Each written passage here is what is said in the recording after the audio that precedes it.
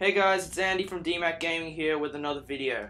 In this video, INFLAG and Zero Empathy are going to be talking to you about Call of Duty Black Ops 3 and their opinions on the new and returning features.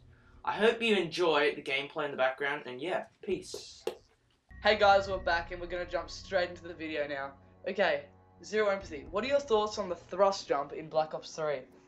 Well, I got a tweet written down here, so it explains like everything that's all like everything that's uh, happened with the thrust jump. So, it says you can go to a specific height, but it's not like Call of Duty Advanced Warfare EXO jump. You eventually run out of power and drop to the ground, but you may be in the air for about four to five seconds. So, I kind of like the thrust jump because it's kind of like a mix of like you know the old traditional Call of Duty, you know when you're walking around like that, but it's also the mix of um like Advanced Warfare exosuits. I, in my opinion, I liked the exosuits, but I know a lot of people didn't. So, I like what they what they've what they've done is they've kind of pleased both parties by like doing um, a mixture of both. So yeah, I like that. So what do you think? What's your thoughts on that, Damo? Yeah, I'm quite happy they still have some sort of um, dash in Black Ops 3 because I was quite a big fan of the exo movements and exosuits in um, Advanced Warfare. But I did also like the um, traditional Call of Duty. So I'm, yeah, I'm pretty happy like you with the mix. Yeah. So what are your thoughts on um, the pick 10 formation? Well, I really like, in my opinion, I really like the pick 10 because it was like it's going back to Black Ops 2 days. You know when the, you know when um the score streaks used to be a different thing to the um creator class. So what you Yes. do if you if you didn't know what pick 10 is is what there was like a little um what do you call it like menu that you click score streaks and you could pick your three score streaks for the match. And then your creator class was a different like sort of like menu sort of thing. So what you could do is it means you um you have more space for attachments you know for perks and all that kind of stuff. Because what's done in advanced warfare is with the pick 13 what they've done is um the score streaks are now inside the creator class. So it means you have less room for perks and stuff so what it meant was a lot of people were getting rid of um, score streaks to get perks and attachments on their gun. So I really like how they're going back to a pick 10. So what are your thoughts on that, Damo? Yeah, I reckon it's going to be good, especially for some of the pub stompers. So now they're going to have um, their score streaks and their uh, classes separately. So now they'll be able to add on extra um, perks and uh, attachments that are going to help them win more gunfights. So yeah, um, yeah. Speaking of um, gunfights and abilities and that, what are your thoughts on the new special abilities coming to Black Ops 3 on characters?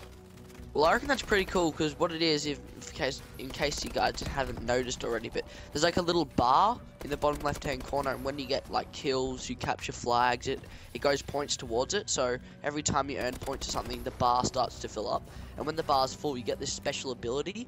So you get a special ability for every different character in um the multiplayer. So I know one of them for a fact is like a minigun. If you've watched the trailer, it pulls out. The guy pulls out like a minigun and starts drilling everyone. So I reckon that's pretty cool. Yeah. That um you can use miniguns and that all that kind of stuff in multiplayer. So what do you think of that, Damo? Yeah, it's pretty awesome. I heard there's also going to be lasers as well, which will be pretty That's pretty interesting. Yeah, so I'm guessing it's going to be um like these special uh, exo abilities in Advanced Warfare where it only lasts for a certain amount of time. I'm guessing. Yeah, yeah, yeah, it would. I'd say so. Yeah. So what do you So, um, think on um no panic knifing?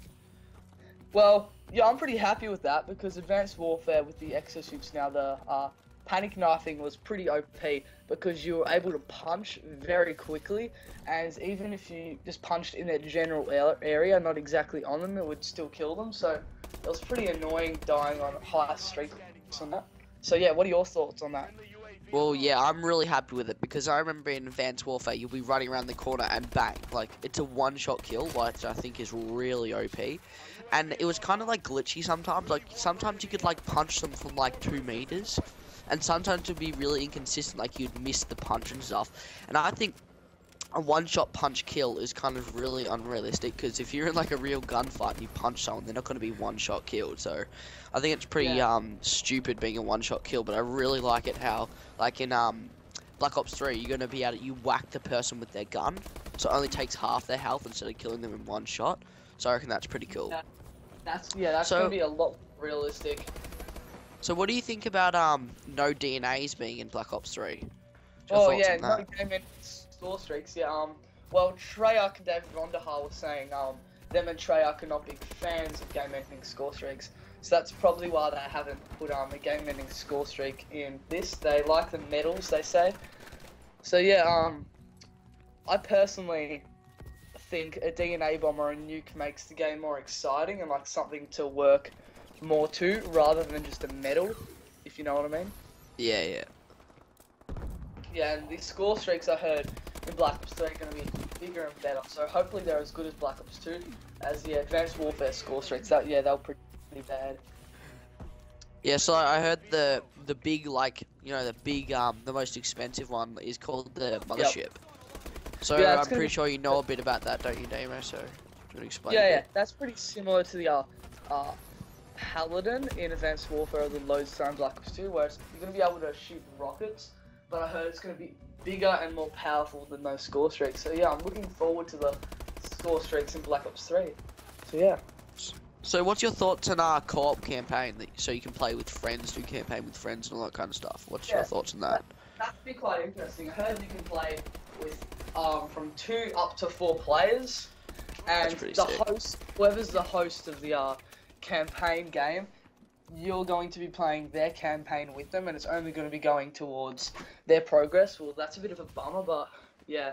What are your thoughts on the campaign? Well, I reckon it's really cool because I remember playing campaign and it's kind of lonely playing by yourself. It's kind of boring. I like doing it with friends because I reckon it would add like a whole new spice to Call of Duty, like having a lot more fun than campaign. Because usually, um, I do like a couple campaign missions and I'd get bored of it because you know it's kind of boring not doing it with friends. Yeah, yeah, totally. So, what's you your thoughts on the um wall running? Yeah, well, Quite- that's going to be quite quite interesting. interesting. Yeah, I believe um, the thrust jumps are going to allow you to run along the wall, and it's pretty similar to Titanfall, as yeah, you can run along the wall for a short period of time. What are your thoughts? So um, I've got some writing down here on uh, a website. So uh, if you if you guys aren't aware of what it is, I'll just explain it to you. Wall running is like Titanfall in a way, but you cannot do it on walls, and you must approach the wall in the correct way. You cannot keep running on a wall forever. You can jump from wall to wall to get through maps faster. You are an easy target, but the areas where you can run aren't in heavy tra- traffic areas. Which is pretty cool. Alright guys, thanks for watching the video. Um, let me hit that sub button, hit that like button. So see you in the next one. Please lay me down on a bed of roses, sink me in the rain.